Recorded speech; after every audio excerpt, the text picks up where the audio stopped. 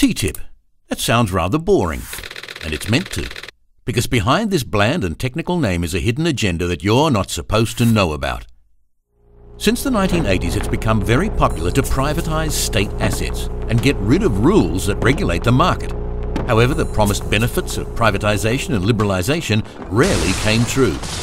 That's why more and more people are questioning these policies and want to reverse them. This is where TTIP comes in. TTIP would cement the current level of privatisation and force us further down liberalisation lane. How?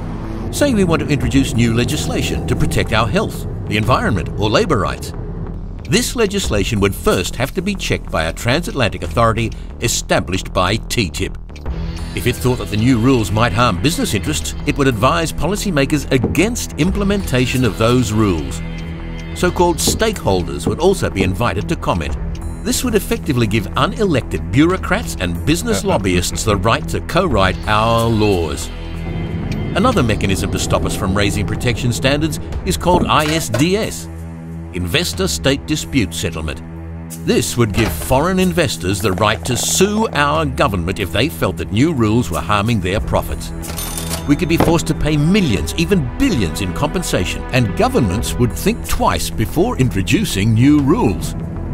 Once signed by the EU and the US, it's almost impossible to change or terminate TTIP. We'd be locked in for generations, unable to choose alternative routes towards a society we want.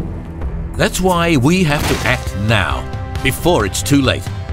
Add your voice to our European Citizens Initiative against TTIP and CETA, a similar agreement the EU wants to sign with Canada. More than 2 million Europeans have already signed.